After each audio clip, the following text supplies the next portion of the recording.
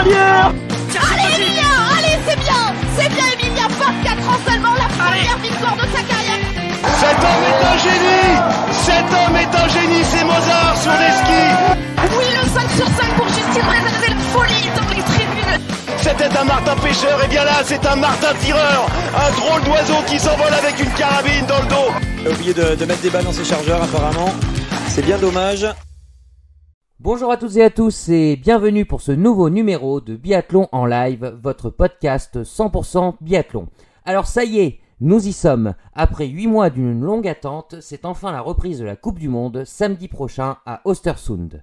Je sens autour de moi une certaine effervescence et je suppose que pour vous, chers auditeurs, c'est exactement la même chose. Une nouvelle saison qui sera bien sûr un peu spéciale, hein. non pas que notre chef Romain a décidé de nous offrir 4 jours au Grand Bornand, hébergement inclus en décembre prochain, mais surtout, c'est que cette saison, elle sera entrecoupée par une session olympique. Des JO qui s'annoncent un peu particuliers, mais des JO quand même, et puis bien sûr hein, une nouvelle saison de Coupe du Monde où tous les compteurs seront remis à zéro.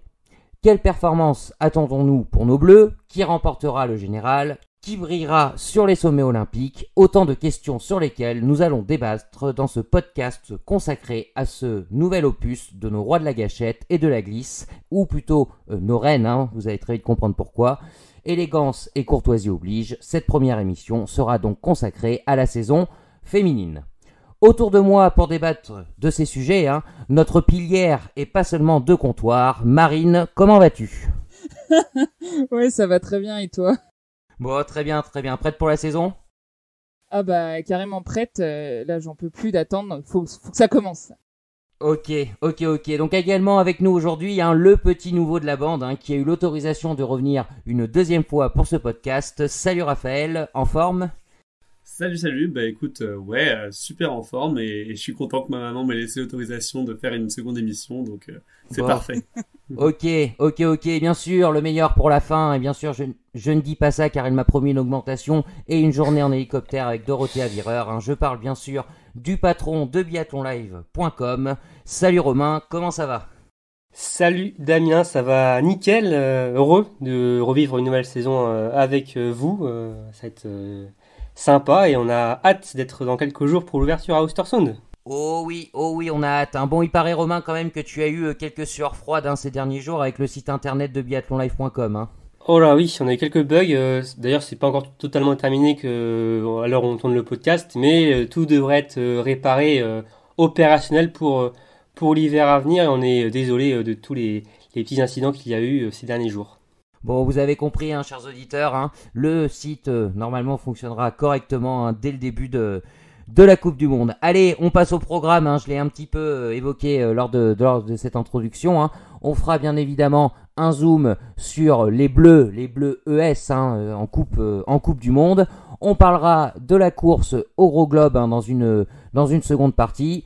Bien évidemment, les JO de Pékin seront euh, une thématique hein, abordée euh, pendant ce podcast. Et à la fin, on mouillera le maillot. Hein. on vous donnera nos pronos pour cette nouvelle saison euh, féminine. Hein. du coup, je vous rappelle, avec ce podcast consacré donc à la saison féminine. Allez, ne perdons pas de temps. Le compte à rebours de la nouvelle saison est lancé. C'est parti pour ce nouveau numéro de Biathlon en live. Jingle.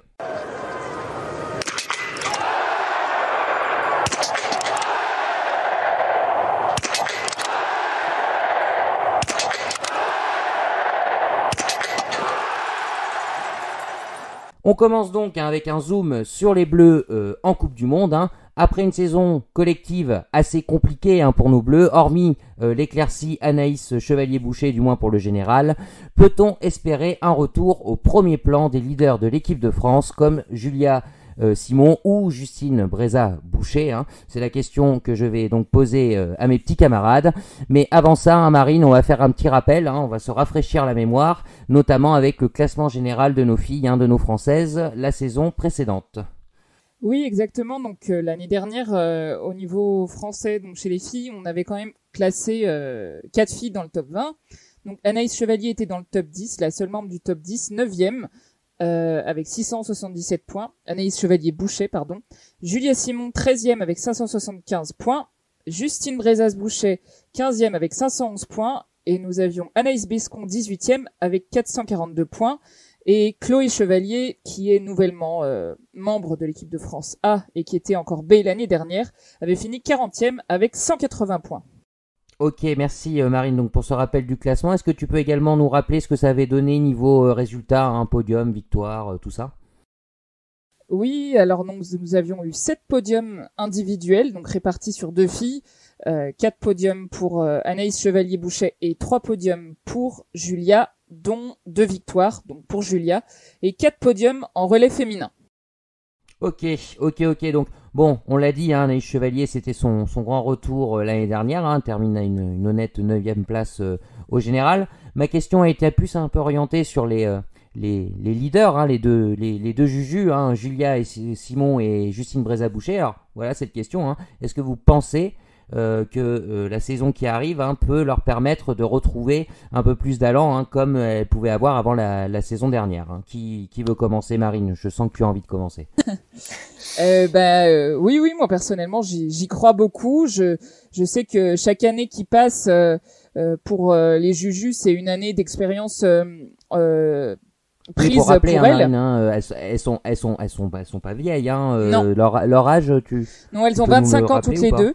Et euh, c'est vrai que la, on va dire la maturité euh, pour pour un biathlète, c'est c'est pas forcément euh, aussitôt que que ça. En tout cas pour les féminines, on, on le sait que c'est ça, ça peut euh, c'est un peu plus tard pour, que pour les mecs, mais enfin sur les moyennes d'âge de, de, de, gros globes et euh, donc c'est pour ça que je suis pas spécialement inquiète euh, voilà chaque chaque saison euh, leur permet d'acquérir de l'expérience au plus haut niveau et et voilà là elles, elles, elles, basculent petit à petit vers les 30 ans et, et chaque année elles, elles, elles prennent on va dire de l'expérience. Donc je pense que une année comme celle qui enfin une saison plutôt qui comme celle qui vient de s'écouler c'est c'est c'est beaucoup de d'enseignements tirés.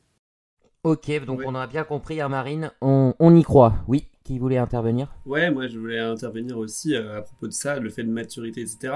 Euh, moi je trouve qu'un exemple qui m'a pas mal marqué euh, la, la, saison dernière, c'est euh, Lisa Teresa Hauser qui, qui a explosé et du coup qui a explosé à 27-28 ans. Donc on peut, enfin, on voit à peu près la tranche d'âge qui est, enfin, si jamais, enfin, ça peut être un très bon exemple à suivre entre guillemets, mais quelqu'un donc acquérir cette expérience pour finalement exploser à à, un âge là, on, souhaite que ça pour, les, pour nos filles françaises. Ah, bien sûr, bien sûr. Romain, tu, tu y crois, toi? Ouais, j'y crois. Euh, j'y crois qu'elle fasse, euh, qu'elle passe en une étape euh, comparée aux années précédentes, à la saison dernière. Surtout de ce qu'on a vu cet été, des dernières courses, on sent que physiquement elles sont présentes, hein, même l'an dernier, hein, mais elles sont là. Il y a, ça joue pas grand chose sur le tir. On sent qu'il y a eu quelques améliorations.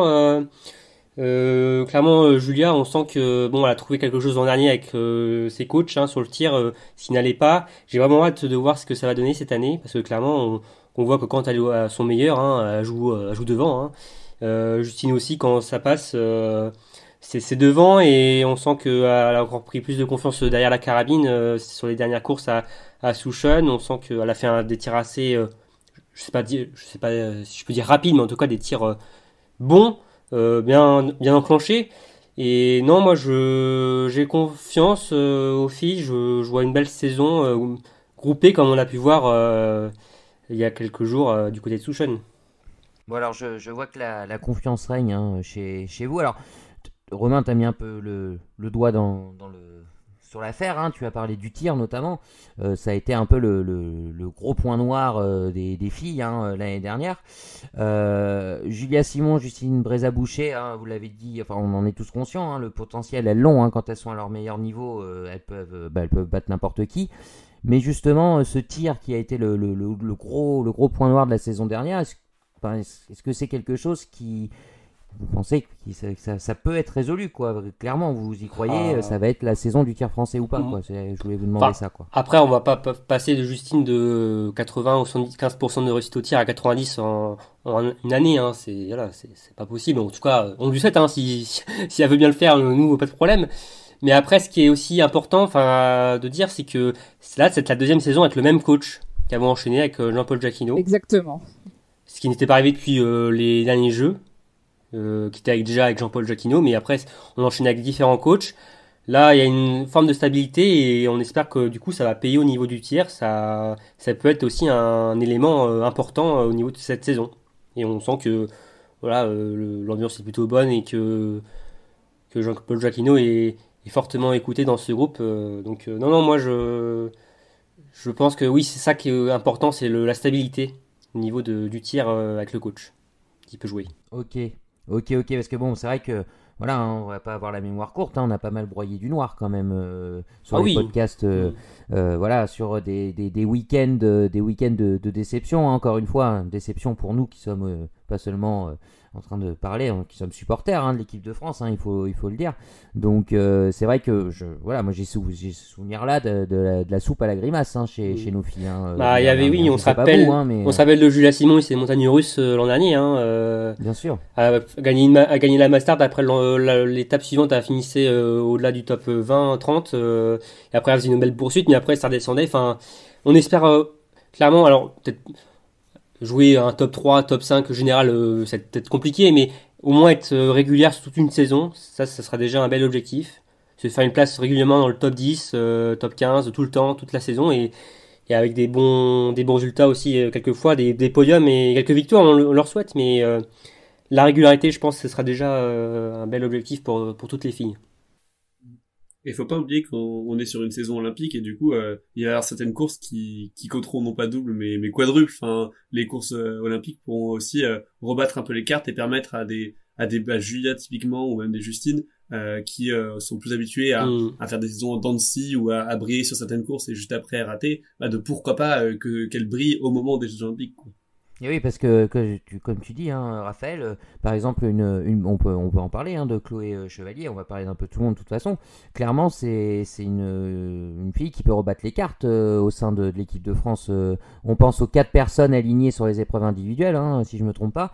Euh, Anaïs Bescon, euh, on ne sait pas trop, mais bon, euh, elle est largement, enfin, si elle reste sur sa, dynamique, elle peut largement faire partie des quatre. Donc potentiellement, il peut y avoir une concurrence entre les cinq filles pour cette fameuse quatrième place, quoi. Hein, enfin, je sais pas ce que vous en pensez. Hein, bah, c'est même, enfin, moi, je trouve ça vachement positif que que qu'il y ait de la concurrence à, ce niveau-là parce que peut-être des fois c'est ce qui manque un peu c'est c'est de sentir qu'on est un peu sécure dans sa place de titulaire et que derrière bah c'est un peu moins fort donc on aura forcément euh, euh, on aura forcément la place donc on se booste mais donc finalement ça fait un peu sortir de la zone de confort et, et je trouve ça euh, vachement bien que qu'il y ait plus de concurrence que l'année dernière finalement. Et enfin en tout cas c'est ce qu'on a vu. C'est ce que Chouchen nous laisse entrevoir.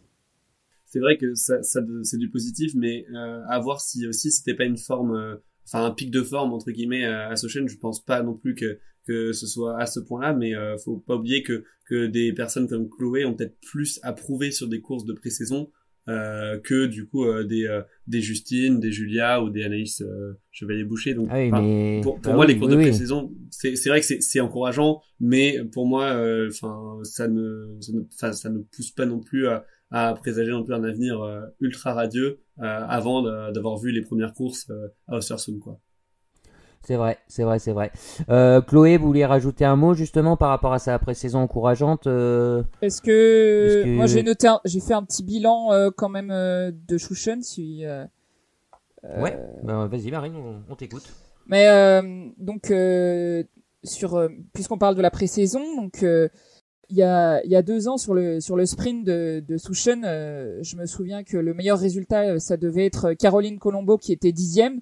Et euh, cette année on a classé donc Julia bah, qui remporte la victoire avec brio, Chloé au pied du podium, Nanas enfin Anaïs Bescon pardon septième et Justine onzième. À, à, part Chloé comment Anaïs Chevalier Boucher qui n'était vraiment pas en forme ce jour-là, on avait déjà fait un bon sprint. Et sur la Mastart euh, on met euh, cinq françaises euh, dans les sept premières, dont Chloé sur le podium. C'est sûr que c'est pas forcément un présage sur la saison à venir, mais en tout cas on peut y voir quelque chose d'encourageant puisqu'on a vu effectivement bah oui puis pour la pour, la confiance voilà c'est très bon pour la confiance des bons temps de ski pour tout le monde hormis peut-être donc Anaïs Chevalier Boucher qui était malade euh, cette semaine-là, mais euh, Justine c'est très très bon sur la mass start, très bon sur le sprint, Julia c'est très très bon, Chloé vraiment très surprenante à ski, euh, Anaïs Bescon bien en forme aussi, également des, des tirs plutôt rapides de, de, la part de, de chacune. J'ai l'impression qu'il y a eu des des progrès de, fait de ce côté-là, notamment du côté de Chloé, même Anaïs Bescon, il me semble aussi que que c'est plus rapide. Donc je trouve que même si ça ne présage pas de, la saison à venir, euh, en tout cas c'est très très encourageant et c'est très bon pour la confiance. On préfère faire ça que que se retrouver euh, dans les euh, bas-fonds du classement avant de commencer la saison. Ah oui, c'est vrai que cette, cette, épreuve de Souchen donne, donne, le, donne le moral, ça c'est, c'est clair et net. Donc on a, on a parlé de, de Julia Simon, de Justine Brézaboucher, de Chloé Chevalier, Anaïs Bescon. Est-ce qu'on la met encore en retraite cette année Jamais. Non, c'est pour, non, mais pour la blague, il hein, est dans 8 ans encore, on se posera la question. Elle est un petit peu saoulée, euh, enfin bon, après avec son, avec sa, sa bonne humeur légendaire, hein, mais je crois qu'elle en a un peu marre qu'on lui pose la question.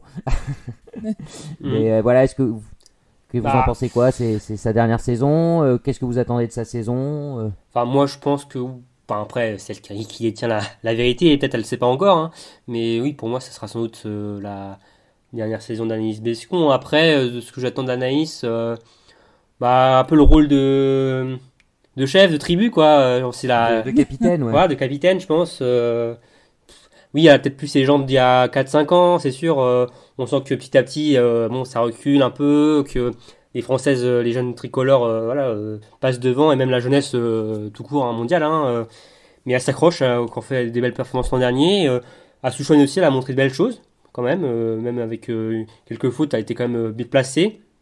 Donc, non, moi j'attends, je pense que oui, d'un rôle de capitaine, mais aussi sur les relais, individuellement, mais aussi sur le relais. C'est aussi une, une biathlète aussi qui est très importante, qui est placée Ah souvent. bah, on connaît Mm. hein, le rôle du, Ouais, lanceur ça. hein, des relais, hein, c'est Mm. super important. Exactement, qui tient, tient son rôle à, à merveille euh, chez les chez les filles. Donc euh, non non, euh, moi j'attends. Alors j'attends peut-être pas forcément autant que peut-être une Justine Breza ou une Julia Simon, mais je pense que non, Anaïs Bescon va faire sa saison comme elle sait le faire et elle va faire quelques perfs par-ci par-là et peut-être encore nous, nous surprendre.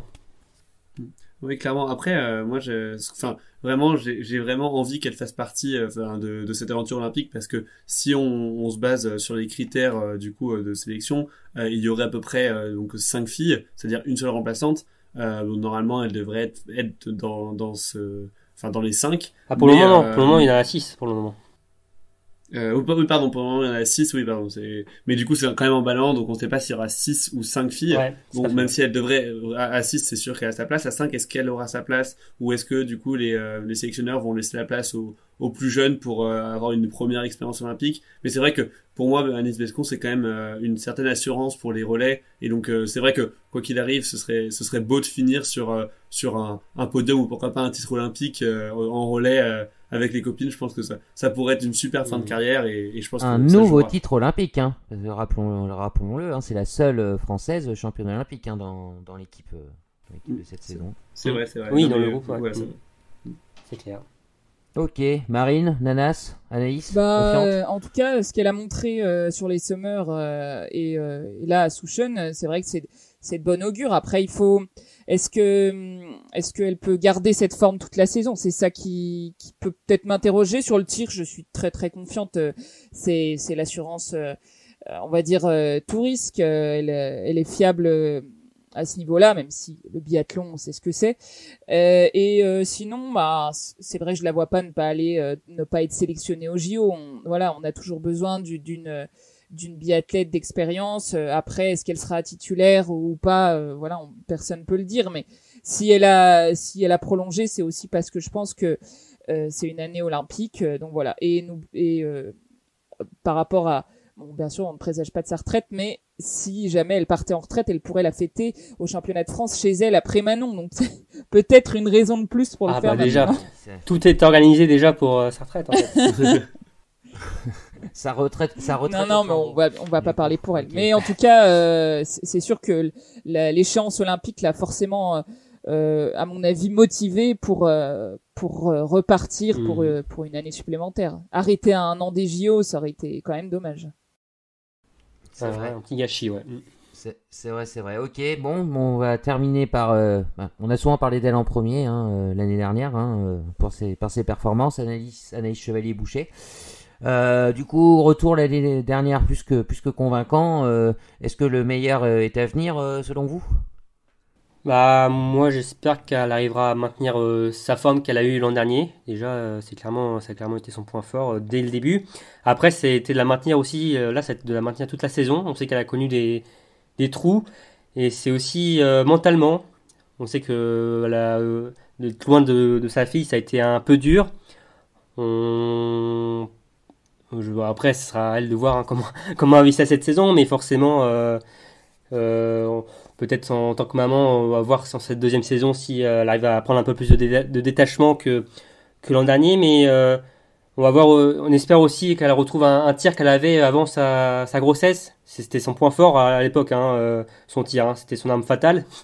Et euh, si elle arrive à, clairement à assimiler les deux, ouais, ça peut faire un, bon résultat, mais ouais, c'est ça peut faire une belle saison encore comme l'an dernier, mais on espère, comme je le disais tout à l'heure, avec un peu plus de régularité, régularité pardon, si, si le tir est là et aussi le mental tout l'hiver. Bah, c'est sûr. Hein. Marine, euh, Marine Raphaël, euh, voulez-vous mouiller euh, je... Ouais. je sais pas. Bah, un top 5 Non, je, je, vous écoute. On aimerait bien un top 5, hein, mais non, globalement, c'est vrai que pour rebondir un peu là-dessus, quand, quand on regarde un peu ses stats de tir, elle est à 80% sur la saison. Quand tu compares à Ekoff 83 et Royce 84 pour ne citer qu'elle, c'est vrai que bah on sent qu'il y a la petite balle de trop à chaque fois que c'est vraiment ce qui l'empêche euh, de transformer ses podiums en victoire ou même de parce qu'elle a fait aussi beaucoup de places d'honneur euh, et euh, c'est vrai que c'est on sent qu'il y a, il y a ce déclic à retrouver parce que c'est vrai qu'elle l'avait avant et, euh, et non et du coup c'est vrai c'est sûr s'il arrive à allier bah, ski et tir comme aux, deux pics de sa carrière je pense que bah, elle peut facilement viser un top 5 donc non moi j'ai pleine confiance et je pense que cette première année aussi loin de sa fille lui a permis aussi d'avoir de l'expérience là-dedans parce que bah ça s'apprend à être parent. Euh, donc du coup non, euh, pour moi c'est moi j'ai j'ai full confiance en Anaïs Chevalier Boucher et, et je pense que ça va être son année.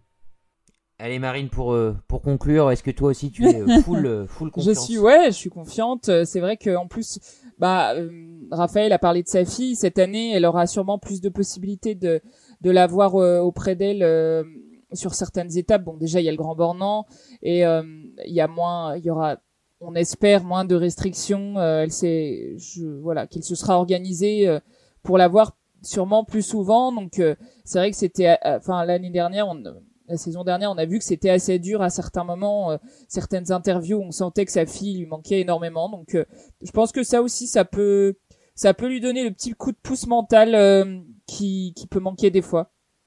Ok, Ok, ok. Bon bah, écoutez, hein, c'est tout le, mal qu'on leur souhaite à nos filles pour cette, euh, pour cette nouvelle saison. On suivra ça de, ça, ça de près. Et on va donc euh, bah, clôturer ce, ce, passage sur les bleus. On va parler de la course au gros globe. Alors malheureusement, on a un peu séparé hein, les bleus de, de, la course au gros globe, hein, pour les raisons qu'on vient, qu'on vient d'évoquer. Euh, donc après l'écrasante domination de Thierry Lecoff la saison précédente, hein, pensez-vous qu'elle pourra conserver son gros globe cette saison? Alors pour débuter, hein, la question va être simple, vous allez me répondre oui ou non hein, par rapport à la question que je vais vous poser. Donc euh, bah écoute Marine, je t'écoute. Euh, moi non. Romain? Non. Raphaël Pas original mais non. Ah Ah bah, bah on va pas faire un beau débat avec tout ça. ok, ok, ok, donc euh, bah non, on a bien compris, hein, pour vous tirer les coffres, ne gardera pas son, mm. son, son gros globe. bah écoute, vas-y Raphaël, on t'écoute. Pourquoi? Alors, pour moi, il y a, y a, plusieurs arguments qui vont dans sens. Alors après, euh, non pas que je souhaite à Thierry Lecoff de, de perdre son titre, hein, loin de là. Euh, non, pour moi, déjà, euh, il y a le côté de revanche, que ce soit de, de la part de Royce Land, de Vireur et même euh, de Heuberg. Et je pense que elles, elles ont encore mieux préparé, au-delà du fait que la saison soit olympique, elles ont vraiment ce sentiment de... bah enfin, je pense surtout à Royce Land, c'est vrai que le titre au début de la saison, c'était un peu elle la grande favorite et donc euh, c'est vrai que c'est, je pense qu'il y a cet esprit de revanche et euh, ça m'étonnerait pas que elle, euh, elle a, elle ait pris un peu de de la saison précédente pour justement revenir encore plus forte. Et non, du coup, et on peut voir aussi qu'elle a fait de bons résultats lors lors des courses de pré-saison. Donc non, pour moi globalement, il y a cet argument-là qui va en compte. Et puis aussi, on a connu, enfin on sait par le passé que Tyril c'était une, une, fille qui était assez inconstante et notamment quand elle n'avait pas la confiance, elle avait du mal, notamment au tir. Euh, et donc euh, ça ne m'étonnerait pas que euh, bah, si après quelques résultats ratés, elle ait, elle ait pas cette capacité d'écraser en fait toute la saison et du coup qu'elle, finalement qu'elle n'arrive pas à, à, lancer, relancer la machine comme l'année dernière. Ok. Est-ce que Marine, il t'a mangé tous tes arguments, Raphaël, ou t'en as encore un petit peu? Bah, Comme lui, je pense un peu que que ce sera, en fait, c'est pas forcément que que je crois pas en elle, mais je crois surtout effectivement en son adversité et Bon, il en a cité plusieurs, euh, euh, même pour moi, ce sera surtout Marté, sa, sa principale euh, rivale. Les autres, euh, j'y crois pas trop. enfin, c'est pas que je crois pas qu'elles vont faire des bons des bons résultats, mais mais pas à la gagne en tout cas. Damien, on, on enregistre Damien quand pour la repasse en fin de saison, tu vois, si elle s'est trompé, ça, ça, va être très drôle. ouais, ouais, ouais c'est bien noté, c'est enregistré archivé. Non, euh, bah, sinon il a voilà, il a à peu près euh, résumé euh, la situation et c'est vrai que je pense que l'année dernière euh, ses adversaires se sont clairement fait surprendre, surprendre par ce niveau de tir, cette constance. Enfin, en janvier, elle a marché sur l'eau, bah, voilà, notamment sur le le fameux duo sprint poursuite, elle était imprenable quoi. Donc ah oui, elle en a fait, elle en a fait mm. quelques-uns des doublés là. Mm. Ouais, et, et, et, Romain, pour toi, c'est si elle est à son niveau, Thierry Lecoff, si elle est le même niveau que la saison précédente, c'est bingo quand même ou pas? Ah oui, c'est bingo, je pense. Donc pour toi, je suppose que c'est que tu penses qu'elle ne sera pas au même niveau. Moi, j'ai peur en fait qu'à le fait qu'elle ait gagné le gros globe l'an dernier, j'ai peur qu'en fait il y ait un petit relâchement, qu'elle a, atteint son objectif et que du coup, euh, bon bah ça va peut-être pas, ça va pas tenir toute la saison prochaine. J'ai peur de ça pour elle, euh, parce qu'on sait quand même, euh, elle est assez émotive. Que ça peut des fois, alors depuis deux saisons quand même c'est régulier, mais ça peut quand même passer au, travers. Et j'ai peur que que cette année n'arrive pas à rééditer euh, par les performances et que en plus vu qu'elle veut, elle a peut-être sans doute fixer les jeux comme gros objectifs. Et eh oui, oui, oui, oui, on va pas trop voilà, manger sur la partie J'ai peur que euh, ça se fasse pas, qu'elle n'arrive pas à rééditer donc euh, une deuxième saison de, de, la sorte. Et oui, moi, bah, je pense, je vais pas être très original. Je pense, je pense comme mes deux compères, euh, je pense que Martin Holzbourg-Rosseland a la un peu euh, voilà de la revanche dans l'air, mais c'est un peu comme Ekoff aussi euh, l'an dernier, qui avait été battu par Vireur de quelques points sur la dernière course. Là, bon, ça a été, là c'était beaucoup plus écrasant l'an dernier avec Ekoff, mais je vois clairement euh, prendre prendre le dessus. En plus, pour Holzbourg, j'ai c'est le moment ou jamais là, je pense, ça va être la saison ou jamais, parce que après, bon, elle a 31 ans, euh, t'as les filles jeunes derrière qui arrivent derrière.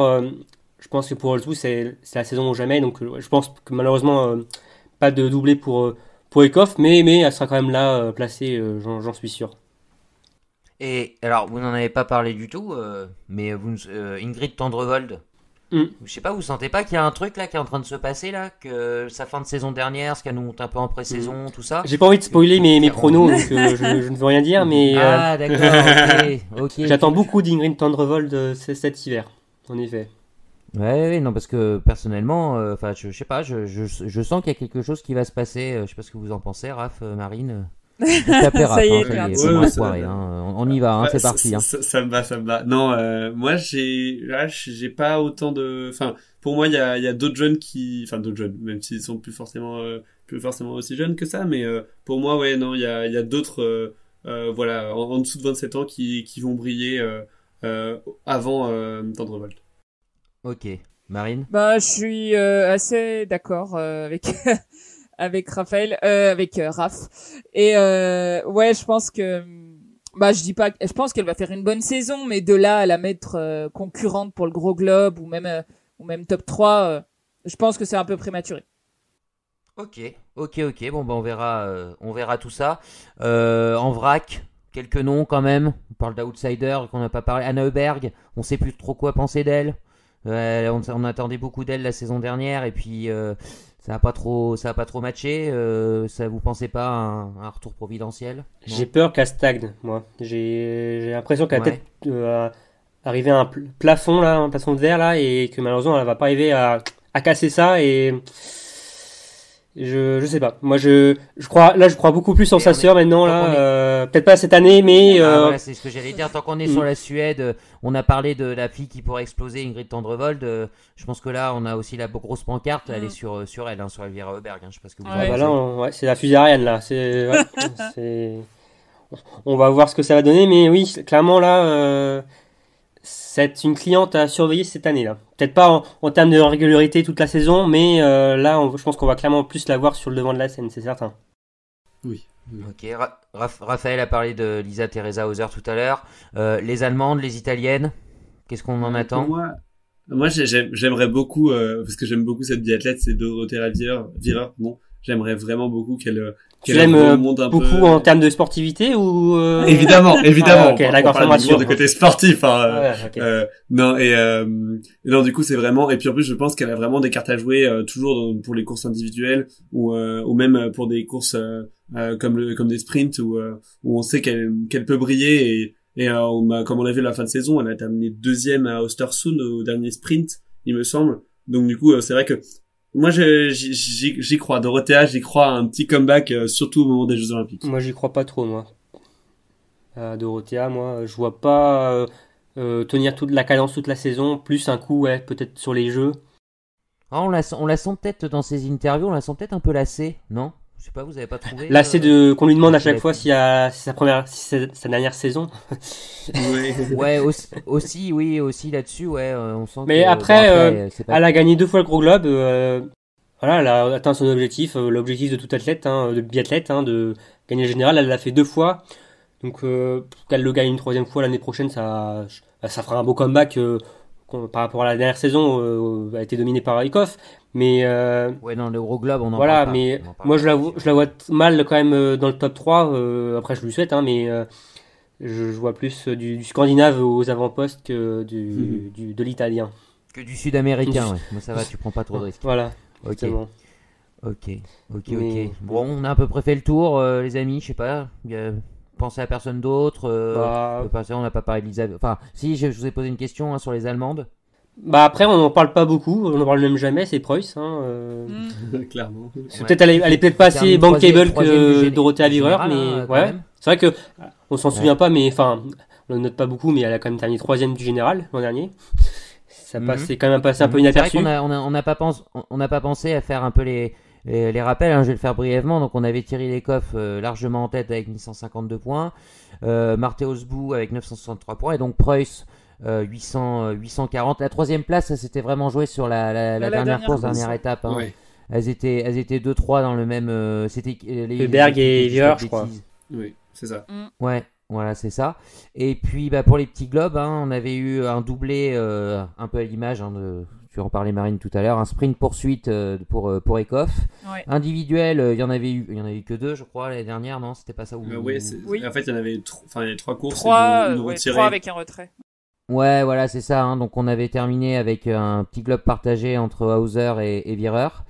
Euh, la Mastart euh, pour euh, le petit globe pour Tendrevold. Et oui, on n'en a pas parlé, hein, le dossard bleu à Limbekava. C'est ça. C'est vrai que c'est vrai Bekava, enfin, je, je la vois bien, euh, bien figurer. Bon, peut-être euh, faire un top 10 au général et euh, et euh, voilà. et, Sur- euh, un bulletin de notes, on pourrait lui mettre à Limbekava à confirmer. Ouais. C'est ça. Bah, ça va être sympa de, ça va être sympa de, Ouais. co- de comparer par rapport à Heuberg, hein, parce qu'elles ont fait une saison euh, similaire hein, Mhm. l'an dernier, et euh, on va voir comment toutes C'est les deux ont évolué. Et malheureusement, euh, à Limbekava, on ne sait pas trop parce qu'on l'a pas, on l'a pas du tout vu euh, cet été. Enfin, à part ces championnats nationaux, euh, bon, on n'a même pas eu d'image, donc euh, bon, c'est c'est compliqué, mais le- les, les, Bé- les Bélarusses euh, aiment bien euh, les années olympiques. c'est aussi, vrai. hein. on va en parler hein, dans quelques instants, mais pourquoi pas, pourquoi pas. Donc on rappelle hein, euh, le, le Bélarus hein, euh, qui a une- une- un relais assez, assez fou. hein. Les, quatre, les quatre filles du relais, c'est des Speedy Gonzalez, Mm. ça, ça tire pas trop mal. Euh, elle sera encore une fois, euh, bon, on va pas, voilà, on va parler des JO dans quelques instants, mais elle pourrait être favorite euh, Ah bah, au moins au podium. un olympiques, hein. qui, a de la, la- qui a de la gueule. hein, Jeune, euh. euh, Mm. jeune avec, Anna- de l'e- avec, avec un petit peu d'expérience aussi. Ouais. Qu'on le recite, hein, donc à Imbekava, Anna Sola, Kryuko euh, Et Krikushina. Et Kroshinkina. Krochina. Kroshikina, pardon. ouais, pardon, désolé. On s'excuse pour la, pour la prononciation. hein. euh, Ouais, un petit, un petit quatuor plutôt, euh, Sympatoche. plutôt sympa. Ouais. Euh, deux podiums l'année Ouais. dernière, euh, mine de rien. euh. Et bon, après, ouais, les courses d'un jour aussi. Hein. Et ben on les suivra, euh, on les suivra également hein, sur euh, sur la Coupe du Monde et donc hein, les JO, euh, notre sujet hein, qui tombe qui tombe à pic, hein, les JO de Pékin euh, en février prochain. Euh, les dates, quelqu'un a les dates euh, de ces de ces C'est JO du 5 au 19, je crois. Du 5 euh, du 5 au 19 euh, 5 au C'est 19 ça. février. Hein, bon, euh, on, on va pas détailler le, le programme, on aura l'occasion hein, de de- d'en parler euh, au moment euh, venu. hein. C'est comme pour le programme de la Coupe du Monde, hein. on s'est pas arrêté étape par étape, mais bien sûr vous le retrouvez sur biathlonlive.com. hein. Tout est tout est prêt, euh, vous pouvez euh, checker vos, billets d'avion et regarder les dates. hein. C'est du sûr et certain. Donc euh, voilà, donc justement bah, c'est JO. Hein. Euh, on a déjà parlé un peu de ces filles, hein. ça pourrait être les derniers pour une génération gagnante. Thierry Lecoff, Dorothée Avireur, euh, Marthe mais qui étonnamment euh, possède un palmarès vierge en termes de titres olympiques euh, individuels. hein. Donc euh, ma question, euh, après on va pouvoir faire quelques quelques rappels statistiques, hein. mais voyez-vous une razzia d'une seule athlète ou un palmarès finalement très éclectique euh, lors de ces Jeux olympiques? Et ben on va faire comme tout à l'heure. hein. On va, je vais écouter vos réponses. Euh, Raphaël, Euh, plutôt une seule athlète ou éclectique? Éclectique. Romain? Plusieurs. Je. je n'ose pas dire le mot. Pas le Voilà. Il n'y a pas de, il y a, pas de souci, Marine? Et moi, éclectique aussi. Ah bah d'accord. Bah, du coup, euh, vous êtes, oh là là, là, et- euh, vous êtes pas trop dans la contradiction sur ce podcast. Euh, donc, Non. éc- Éclectique, euh, bah, pourquoi Bah Marine, hein. Euh, Marine, pourquoi? Bah, parce que je pense qu'il y a vraiment beaucoup de densité sur ce, sur ce plateau féminin, en tout cas plus que à l'époque où euh, il y a déjà eu donc euh, des razzias, donc euh, ouais, je pense euh, voilà, ce sera bien réparti. Ok, ok, ok, Romain. Bah, c'est le même argument que moi, que Marine, pardon. Euh, le, le plateau féminin est très dense. hein. Il y a, alors, il y avait Koff hein, qui était loin devant euh, l'hiver dernier, hein, qui a fini euh, largement vainqueur, mais derrière, il y a quand même du beau monde. Et bon, bah. Et après, de toute façon, les courses d'un jour, c'est souvent on a de belles surprises aussi.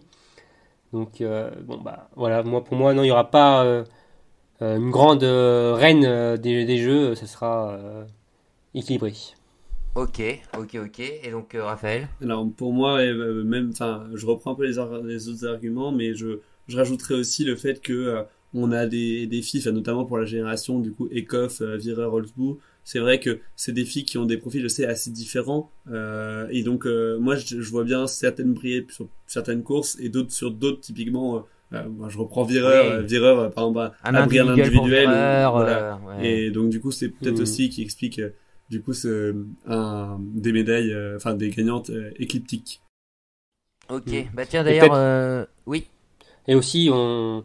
les conditions climatiques qui seront assez compliquées apparemment. S'il y a beaucoup de vent sur toutes les courses, euh, bah, ça va être un- une loterie euh, pour... sur certaines épreuves. Euh, D'autres, euh, ça se passera bien. Donc euh, forcément, ça va rabattre les cartes aussi de ce côté-là. Ouais, ouais, ouais. Euh, donc justement, hein, euh, Raphaël parlait de, de la triplette, hein, Ekov, Vera, Holzbou, hein, des filles qui ont 31 ans, enfin qui en tout cas en février prochain auront toutes euh, 31 ans. Euh, Marine, tu peux nous rappeler leur, euh, leur palmarès olympique, s'il te plaît? Yes, yes. Alors euh, pour Dorothée Avireur, pas de médaille individuelle à déclarer et donc deux médailles en de bronze en relais mixte en 2014 et 2018. Celle, de 2018, on s'en souvient. hein. Oui, C'était- oui, il y avait eu euh, sprint, euh, réclamation qui avait fait euh, polémique qui avait avec les changé Allemands, de ouais. ligne. Ouais, Oui, l'Ita- oui. L'Italie qui s'était d'ailleurs effondrée. Hein, euh, Non, c'était l'Allemagne. Je sais... Non, l'Allemagne, bah oui, je, je suis bête. Oui, voilà, c'est euh, ça. Ils avaient fini quatrième. Qui avait été mangé par, par Martin Fourcade dans Air le, France, ouais, Air dans le France. tour. On va rester, on va rester poli en disant manger. Excuse-moi Marine, vas-y, euh, co- co- continue. Alors, euh, Marthe Holzbou, euh, donc deux médailles d'argent en 2018, c'est sprint euh, donc euh, et relais mix, donc euh, une individuelle et une en relais. Et Thierry Lecoff, donc c'est la plus médaillée des trois. Et elle en a une en or sur le relais mixte en 2014, une en argent sur le relais mixte en 2018 et trois en bronze. Mastart en 2014, relais féminin en 2014 et Mastart en 2018. C'est, c'est fou, hein. enfin, je sais pas ce que vous en pensez, hein, que les, les trois filles qu'on vient de, de, de citer, euh, avec les performances qu'on leur connaît, n'aient pas une médaille d'or individuelle. Quoi. Enfin, c'est pas, Bah. c'est pas leur, elles ont pas juste participé à une seule Olympiade. Hein. Leur pro- le problème, c'est qu'il y a eu des Daria, des Kuzmina qui sont passés par là. Donc, euh, C'est Des- ouais, mais comme on le disait, hein, le plateau est dense. Hein. Le plateau est tellement dense chez les filles qu'il n'y en a pas pour tout le monde. Hein. Bah oui, oui. Justement, tu parles de, de, de Razia, de, Dom, de Domracheva, de Kuzmina, donc euh, ça, ça existe les Razia sur, euh, sur les Jeux Olympiques. Et euh, est-ce que, là, est-ce que c'était des filles qui surdominaient euh, la saison en Coupe du Monde quand elles ont fait ces exploits-là? Je crois pas, hein. Ah, Neuner, elle euh, surdominait toujours un peu, non? Oui, oui. Oui, oui, oui, non, mais c'est c'est sûr, mais euh, bon, bah écoute, non, non, mais écoutez, euh, je- j'en- j'ent- j'entends, ce- pour vous, ça sera éclectique, euh, on se partage, on se partage les, les médailles d'or, sauf sur les relais peut-être. Non, Oui, oui, non. Même, je pense, je pensais à, du coup, euh, Dallmayr euh, pour euh, les derniers JO. euh, euh, Est-ce qu'on aurait pu la citer? Mais c'est vrai qu'elle n'avait pas dominé la saison. Elle, était, elle avait fait une année justement concentrée sur, sur les Jeux Olympiques. Euh, Kuzmina qui avait fait trois médailles, il me semble, euh, au... Bah justement, j'étais en en train de regarder ça. euh, Kuzmina, euh, qui, a- qui s'est battu pour le général de la Coupe du Monde jusqu'à la dernière course face à Makarainen en 2018, avait remporté trois médailles individuelles à Pyeongchang, deux d'argent et une en or sur la Mastart. Donc il y a un, cas euh, qui montre qu'on peut jouer euh, voilà, sur les deux tableaux. Oui, mais pas de, pas de titre, euh, Romain, pas de titre. Si, titre Mastart. Ah si, titre Mastart, ok.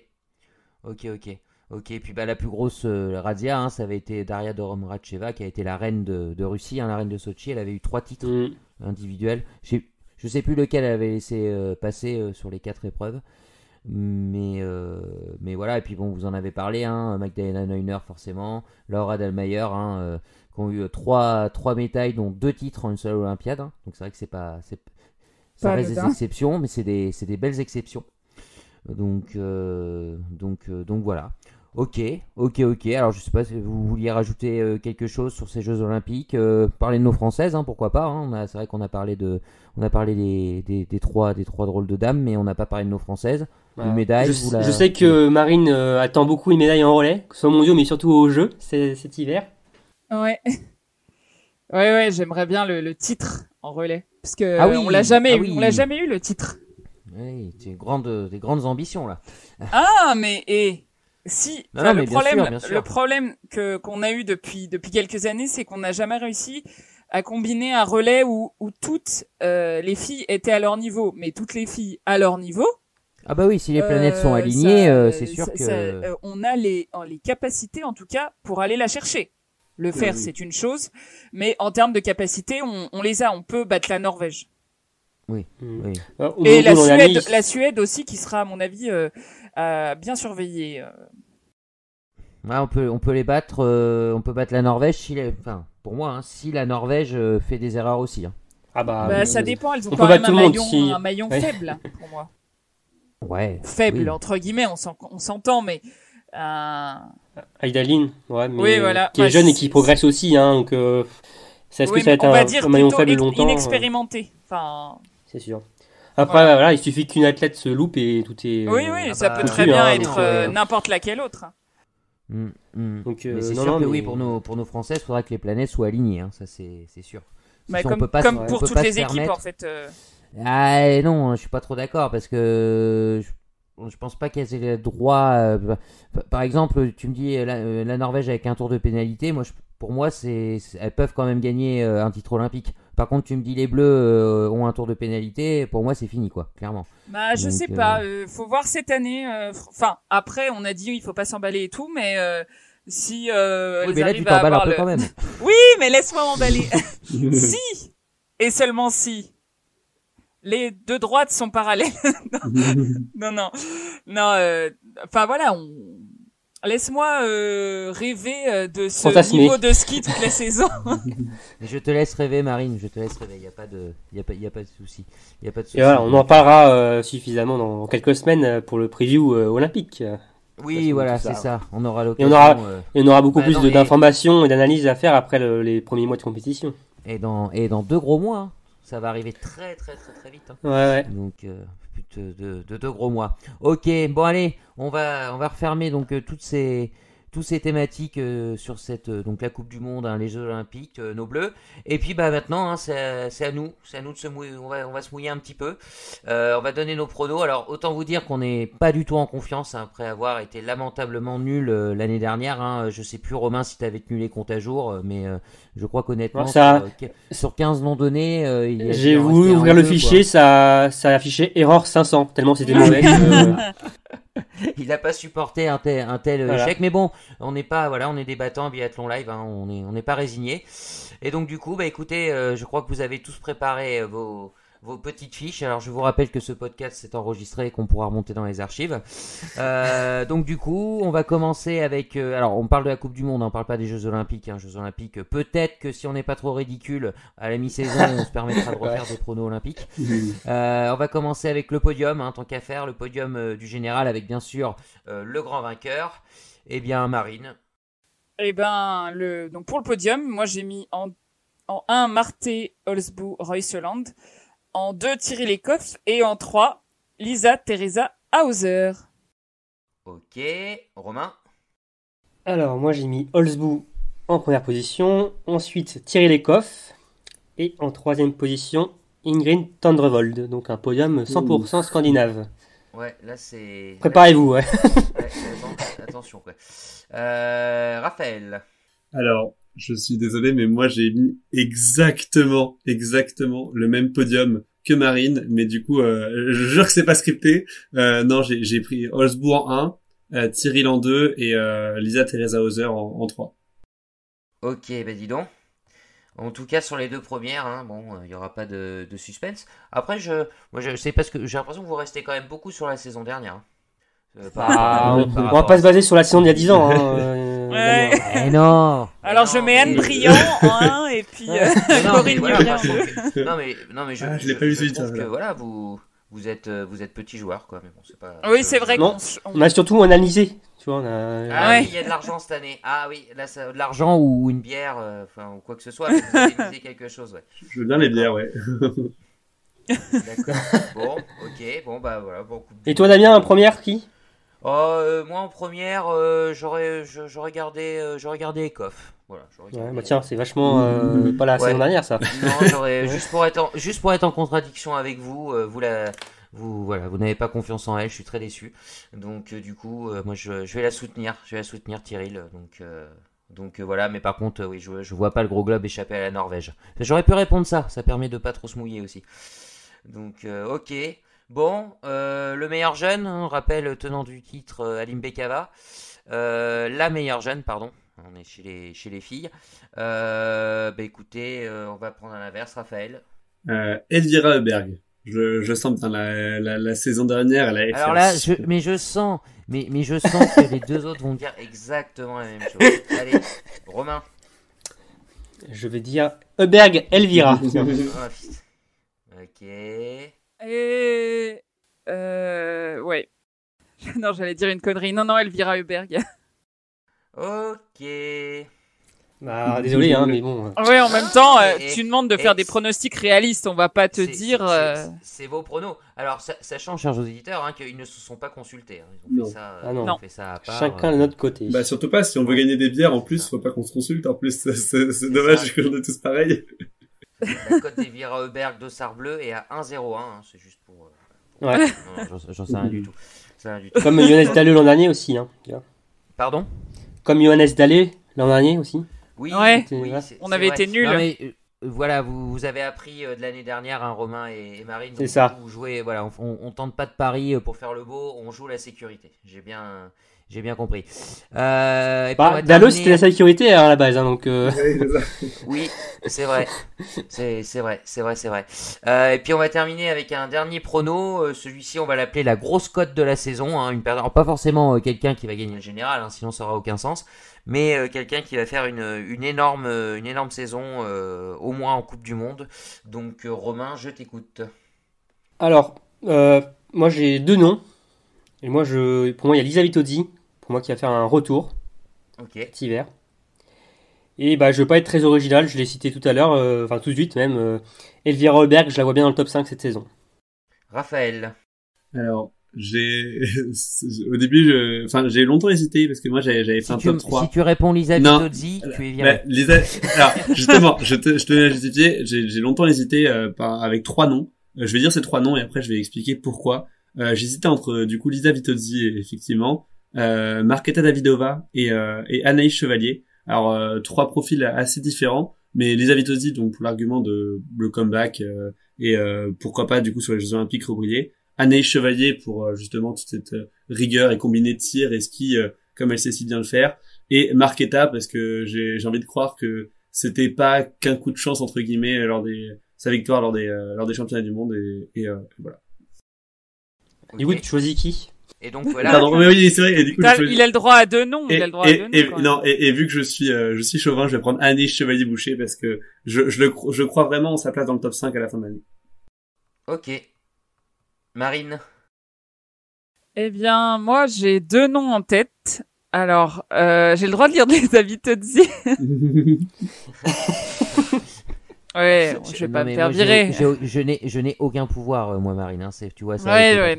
Non, mais je veux dire, euh, franchement, euh, Lisa Vitozzi, euh, bon, on est- on l'a vu sur les courses de pré-saison, sur lesquelles il ne faut pas s'emballer, mais Oui. mais euh, je pense qu'elle va bien revenir cette année et euh, et elle a passé deux deux ans un peu difficiles, mais euh, je la sens euh, plus forte sur les skis. euh, ce voilà, finalement, c'était peut-être un, un palier à passer après avoir été euh, au top euh, au top niveau, avoir joué le globe. Euh, Je pense qu'elle a beaucoup appris et je la vois bien faire euh, une belle année, pourquoi pas une médaille olympique. Et ma deuxième grosse cote, attention grosse, vous allez pas vraiment être surpris, je vais dire Justine. Ah bah. Oh, c'est étonnant, tiens. Alors là, là, là, là, je, je tombe Je suis sur le cul. Je Ouais. m'attendais pas du tout. Non, non, mais ah non, mais je, je l'aurais pas dit si je le pensais pas. Euh, mais franchement, je, je, je bon, moi j'ai j'ai vu tout, j'ai été à tous les Summer Tours et donc euh, bah j'ai vu les les courses de du week-end dernier et franchement, je je, je trouve qu'elle court différemment. Je je, je vois euh, la différence en tir. euh, ça, pour l'instant, ça, alors ça commence un petit peu à se mettre en place, mais je, je trouve qu'elle tire différemment. Elle a revu toute sa carabine. Je, je vois, euh, je vois un changement et je sais pas pourquoi je la, je la sens euh, très bien euh, physiquement, très bien. euh, Jusqu'à quel point, en fait, tu la sens très bien, justement, vu que c'est ta grosse cote? Et ben jusque Grand chelem. euh, non, mais euh, au moins bon. Au moins un retour dans le top 10, ça, je, je compte bien dessus. Euh, J'aimerais bien que qu'elle euh, elle essaye de de d'au moins égaler sa sa meilleure euh, performance au général, euh, qui était de la, la, la septième place en euh, saison 2016-2017, si je dis pas de bêtises. Et euh, oui, une médaille au, au jeu, euh, ce serait bien aussi. Euh, donc euh, voilà. Non, Tu fais franchement. ta liste de euh, course en fest là pour euh, Justine, non? Ouais, je fais ma liste de courses. non, non, mais voilà, voilà, on m'a demandé une, une, une, grosse cote euh, et je fais un peu, un peu la chauvine aussi euh, pour ça, mais euh, non, non, parce que j'y crois, Non, j'y crois vraiment. Ok, ok, ok. Donc, et toujours pas de- d'Ingrid Tendrevolt. Hein. Heureusement que, que Romain l'a quand même cité en troisième euh, sur son, sur son podium. hein. Donc, Oui, du coup, c'est une grosse cote, euh, oui. euh, ça- Oui, c'est oui, voilà. un peu bâtard. C'est une grosse cote qu'on est Oui, pas. c'est- Ça vaut, ça vaut comme une grosse cote. Mais bon. Vous, voulez savoir au début ma grosse cote c'était quoi? J'avais mis Amy Bazerga. J'étais dit genre c'est la. Voilà. Non mais Ah je non, me mais- disais il faut aller chercher dans la très grosse cote euh, et en fait euh, bon c'était un peu loin. C'est grosse cote c'est vague en fait. Oui, c'est clairement. Oui, oui, oui, oui, Oui. c'est vrai, c'est vrai. Ok, bon ben, hein, tout est tout est noté. Donc euh, on verra ça. euh, on verra ça donc au fil euh, au fil de la saison. On va clôturer donc ce, ce podcast un preview sur la, la saison féminine euh, de Coupe du Monde. Alors pour rappel, hein, bien sûr, hein, la première course féminine, hein, c'est ce samedi euh, 27 novembre à 11h45. On débutera par un, un individuel à, un- à, à Ostersund. En tout cas, merci à toutes et à tous hein, de nous avoir écoutés. N'hésitez pas dans les commentaires à, vous don- à nous donner vos, euh, vos pronostics. Hmm. Vos pronos, bah, bien évidemment, vous aussi, hein, mouillez, un, mouillez le maillot, on se pourra se chambrer euh, tendre- tendrement euh, en mars, euh, en mars prochain. Euh, Romain, Marine, Raphaël, merci beaucoup euh, pour votre, pour vos avis, pour euh, voilà, pour les, pour les débats. Et on se donne rendez-vous très bientôt pour un nouveau numéro de Biathlon en live. Ciao tout le monde. Salut. Salut Salut